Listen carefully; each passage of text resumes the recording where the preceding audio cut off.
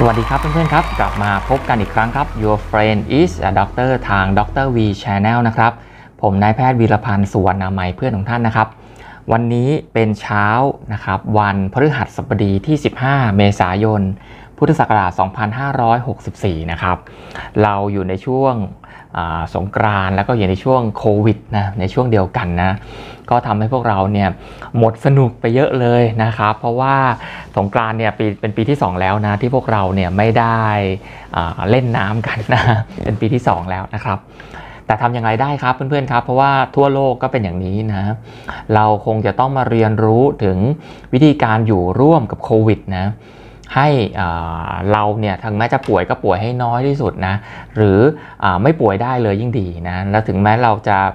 แล้วเราก็สามารถที่จะมีความสุขได้อยู่กับสถานการณ์แบบนี้นะครับ วันนี้ก็เลยคิดว่าจะคุยกับเพื่อนๆเนี่ยนะครับ ถึงเรื่องของการที่เราจะมาสร้างภูมิคุ้มกัน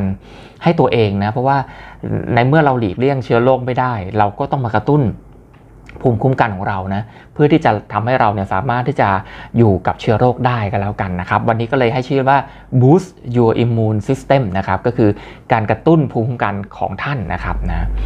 วิธีที่เราจะกระตุ้นภูมิคุ้มกันของเรานะครับคืออย่างนี้โควิดเนี่ยนะครับโดยปกติเนี่ยคนที่ติดโควิดเนี่ยนะ เราก็จะมีภูมิคุ้มกันของตัวเอง ในคนที่แข็งแรงนะครับ เราก็จะหายไปเหมือนโควิดเนี่ยก็เป็นไข้หวัดอย่างหนึ่ง เป็นโคโรนาไวรัสแบบหนึ่ง ซึ่งก็เป็นไข้หวัดธรรมดาที่เราเคยเเป็นกันมาอยู่แล้วนะ แต่เพียงแต่ว่าอันนี้มันเป็นเชื้อที่ใหม่จริง ๆ นะครับ นะทำให้ร่างกายแต่ละคนในโลกเนี่ยไม่มีภูมิคุ้มกันต่อเชื้อชนิดนี้เลยนะครับ แต่ถ้าการติดเชื้อโคโรนาไวรัสเนี่ยในคนที่มีร่างกายที่แข็งแรงเนี่ยเพื่อนๆก็จะสังเกตได้เลยว่าเออคนนู้นไปรักษาเดี๋ยวหายก็ออกมา คนนี้ไปกักตัวเดี๋ยวหายก็ออกมาเห็นไหมนะครับอันนั้นก็คือคนที่มีร่างกายที่แข็งแรงนะแม้แต่เราเองก็ตามนะครับเราก็ต้องทำให้ร่างกายของเราเนี่ยมีความแข็งแรงเช่นเดียวกันนะเพื่อที่แม้ว่าเราจะติดโควิดมาเนี่ยเราก็จะไม่เป็นอะไรมากนะครับนะ ทีนี้วันนี้ก็เลยจะมาพูดถึงวิธีการปฏิบัติตัว เพื่อให้พวกเราเนี่ยมีภูมิต้านทานที่แข็งแรงในร่างกายของเรานะครับนะอ่าผมก็จะขอแบ่งออกเป็น 2 ส่วนนะส่วนที่ 1 ก็คือภายในร่างกายของเราเอง ภายในร่างกายของเราเองนะก็คือภูมิระบบภูมิคุ้มกันของเรานั่นเองนะครับและอันที่ 2 คือทาข้างนอกร่างกายของเรา คือวิธีการปฏิบัติตัวเมื่อเราออกสู่สังคมนะครับ ทีนี้ในร่างกายของเราเนี่ยนะเราจะทำยังไงให้ภูมิคุ้มกันของเราดีขึ้นนะครับ ก็มีอยู่ 3 หัวข้อหลักๆนะครับเพื่อนๆครับ อันที่ 1 ก็คือการพักผ่อนที่เพียงพอนะเดี๋ยวเราจะมาเจาะลึกกันอีกนิดหนึ่งนะครับ อันที่ 2 ก็คือเรื่องของอาหารนะครับ และที่ 3 คือการออกกำลังกายนะสามหัวข้อเนี่ยนะครับเป็นวิธีการที่เราจะทำให้ร่างกายของเราเนี่ยแข็งแรงขึ้นนั่นเองนะครับ การพักผ่อนเอาหัวข้อแรกก่อนนะการพักผ่อนให้เพียงพอนะทำอย่างไรบ้างนะ ก็เรื่องกายก็คือการนอนหลับนะการได้มีการพักนะที่เพียงพอกับความต้องการของร่างกายนะเพื่อนๆควรจะต้องนอนนะอย่างน้อยๆเนี่ย6ถึง8ชั่วโมงต่อวันนะครับ ถ้าเรานอนได้เพียงพอเนี่ยระบบภูมิคุ้มกันของร่างกายของเราเนี่ยนะครับ ก็จะดีนะทำงานได้อย่างมีประสิทธิภาพมากนะครับนะอันนี้คือการนอนเพราะฉะนั้นการนอนเป็นสิ่งสำคัญนะครับ ถ้าใครที่นอนไม่พอนะกลางวันท่านอาจจะต้องหนีไปนอนบ้างนะสัก 15-20 นาที เพื่อทำให้ร่างกายของเราเนี่ยเฟรชขึ้นนะในช่วงกลางวันนะครับ เพราะนั้นเพื่อนๆจะต้องให้ความสำคัญกับการนอนด้วยนะครับ อันที่ 2 คือจิตใจของเราจะต้องไม่เครียดด้วยนะอันนี้ก็ถือเป็นการพักผ่อนอันหนึ่งนะ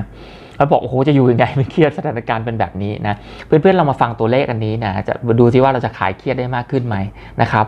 เพื่อนๆครับอัตราการเสียชีวิตจากโควิด -19 เมื่อเทียบกับโรคอื่นๆนะไม่ว่าจะเป็นโรคปอดเบาหวานความดันไขมันโรคมะเร็ง หรืออุบัติเหตุบนท้องถนนเนี่ยนะครับผมบอกได้เลยนะครับว่าอัตราการเสียชีวิตจากโควิดเนี่ยเมื่อเทียบกับโรคเหล่านั้นแล้วถือว่าน้อยกว่ากันมาก ๆนะครับ เพราะฉะนั้นเราอย่าไปกลัวจนเกินไป แต่ในฐานะที่เราไม่กลัวเราไม่ได้ประมาทนะ แต่เราไม่ต้องไปกลัวเขามากจนเกินไปนะครับ 100 คนนะตัวเลขอันนี้เป็นตัวเลขวิทยาศาสตร์ 100 คนที่ติดโควิดนะครับ80 กว่าคนเอาสัก 80 คนแล้วกัน ไม่แสดงอาการหรือมีอาการน้อยมากนะครับ มีอาการน้อยมากเช่นอะไร เช่นมีไข้เล็กน้อย มีไอ มีเสมหะ นะมีน้ำมูกนะอันนี้ก็คือ 80%ของคนที่ติดโควิด เพราะฉะนั้นเพื่อนๆฟังตรงนี้แล้วเนี่ยก็ตัวเลขตัวนี้จะทำให้เราได้ผ่อนคลาย ไม่น่ากลัวมากจนเกินไปถูกไหมนะครับ15 คนก็จะมีอาการปานกลางนะครับ เช่นอาอาจจะมีไข้ที่สูงขึ้น มีอาการหอบนิดหน่อยนะ อันนี้คืออาการปานกลางนะครับ เพราะฉะนั้นเอาเป็นว่า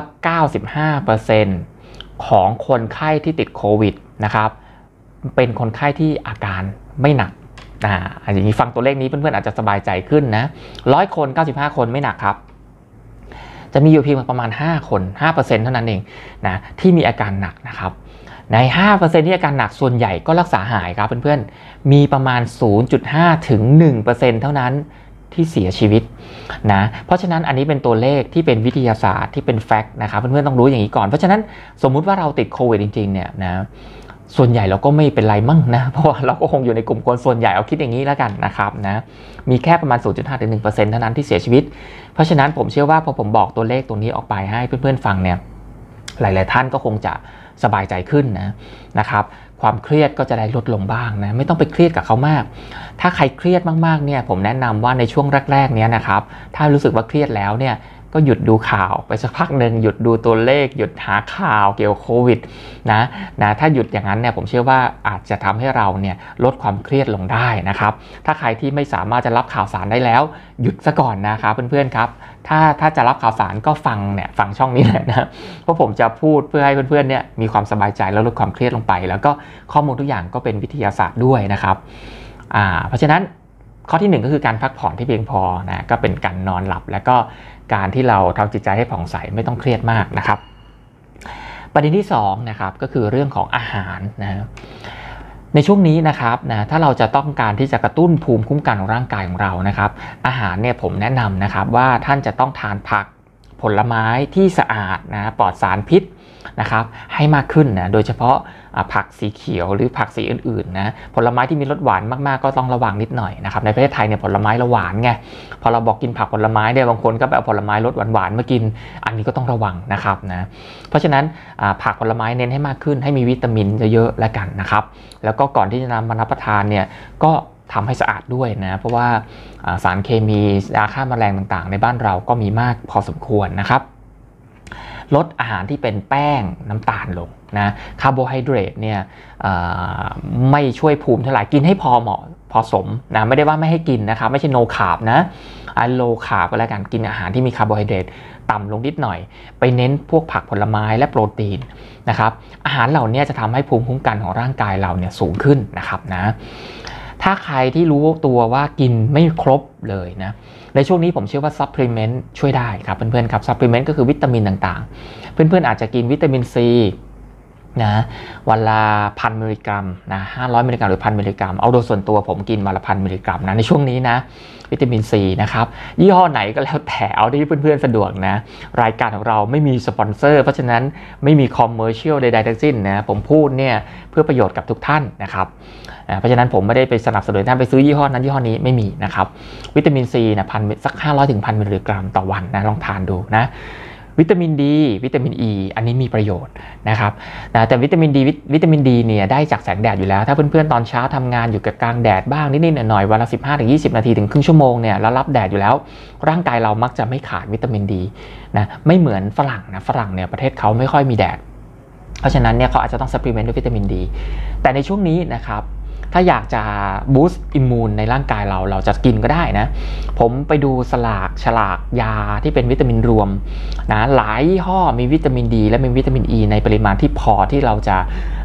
ใช้ได้ต่อวันนะครับ เพราะฉะนั้นถ้าเราจะเสริมวิตามินรวมสักเม็ดหนึ่งผมว่าก็เป็นสิ่งที่ปฏิบัติได้นะโดยส่วนตัวผมเองก็กินอยู่นะวิตามินซีแล้วก็วิตามินรวมนะครับ ก็เลือกยี่ห้อตามสบายเอายี่ห้อที่เป็นมาตรฐานก็แล้วกันนะครับ โอเมก้า3นะโอเมก้า3เนี่ยจริงๆแล้วเราได้จากปลานะเกือบทุกชนิดครับเพื่อนๆครับโดยเฉพาะปลาทะเลปลาแซลมอนนะปลาทูน่านะในปลาน้ำจืดก็มีนะครับโอเมก้า3ก็ถ้าไม่ได้กินบ่อยก็เสริมก็ได้นะครับในช่วงนี้กินโอเมก้า3เสริมมาหน่อยนะนะครับเพราะฉะนั้นอาหารสรุปก็คือ low carb นะวิตามินให้เหมาะสมนะกินผักผลไม้เยอะๆถ้ากินไม่ครบถ้วน เสริมวิตามินซีวิตามินดีวิตามินอ e, ีโอเมก้า3นะครับและก็กินโปรตีนให้เพียงพอต่อวันนะก็ประมาณสัก 0.8ถึง 1 กรัมต่อน้ำหนักตัวของท่านนะครับนี่คือลักษณะของอาอาหารที่เหมาะสมนะนี่กับประเด็นที่ 2 ในเรื่องของอาหารที่เราจะสามารถที่จะเอามากระตุ้นภูมิคุ้มกันของเราได้นะครับ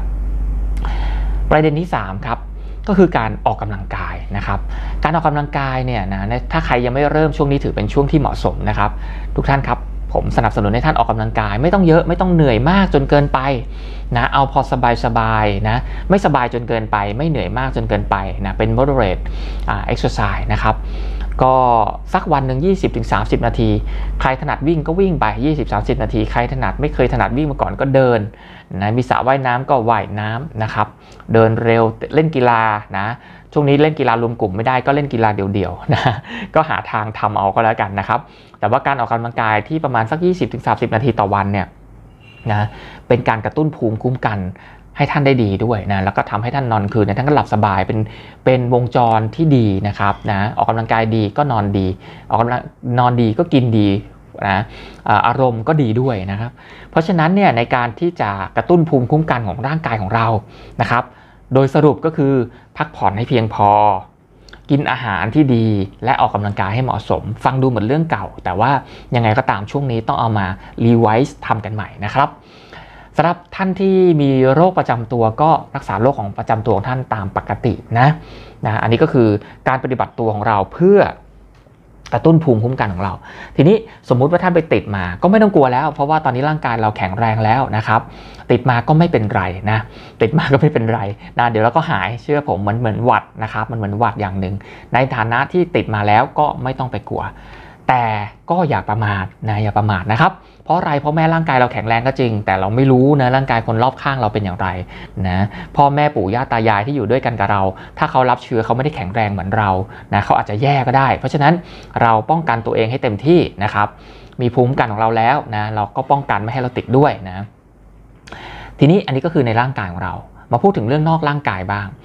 นอกร่างกายของเราก็คือการเข้าสังคมต่างๆ อย่างที่ทุกคนรู้ไปทุกคนย้ำกันหมด นะครับ distancing นะครับนะท่านจะต้องอยู่ห่างกับคนอื่นนะนะอย่าไปอยู่ใกล้กันนะการใส่หน้ากากจำเป็นนะครับนะถ้าไม่ใส่หน้ากากก็อย่าไปคุยด้วยในช่วงนี้นะครับนะการใส่หน้ากากเนี่ยเราคุยกันโดยที่น้ำลายไม่กระเด็นเนี่ยนะครับป้องกันโรคได้มากเลยนะครับมากเลยนะครับ นะในการอยู่ distancing มีการใส่หน้ากากอนามัย ล้างมือบ่อยๆ hand washing เนี่ยสำคัญนะครับและท่านท่านไปไหนมาไหนนะท่านก็ลงทะเบียนไทยชนะด้วยนะเพื่อที่จะติดตามไทม์ไลน์ของท่านได้ง่าย ๆนะครับ และเมื่อไหร่ก็ตามที่ท่านมีอาการที่ผิดปกตินะก็ไปหาไปพบคุณหมอนะครับนะที่ที่สะดวกที่ใกล้ในระหว่างที่ไปพบหมอนั้น ก็ระวังตัวเอง ระวังคนอื่นด้วยนะ อันนี้ก็คือเป็นมารยาทในสังคมที่เราจะอยู่ร่วมกันในสภาวะที่มีโรคระบาดอย่างนี้นะครับ แล้วก็ผมเชื่อมั่นว่าอีกไม่นานนะครับเพื่อนๆครับโรคระบาดนี้ก็จะค่อยๆ ทยอยทยอยหมดไปนะเพราะว่าวัคซีนก็มากขึ้นมากขึ้นเรื่อยๆนะในช่วงที่เราต้องอยู่กับเขา เราก็จะต้องป้องกันตัวเอง ป้องกันคนอื่นอย่างเต็มที่ด้วยการกระตุ้นภูมิคุ้มกันในร่างกายท่านนะครับ ก็หวังว่าคลิปนี้จะเป็นประโยชน์กับเพื่อนๆนะครับ เพื่อนๆครับอย่าลืมครับ ผมเป็นเพื่อนของท่านคนหนึ่ง ท่านมีเพื่อนที่เป็นหมอ your friend is a doctor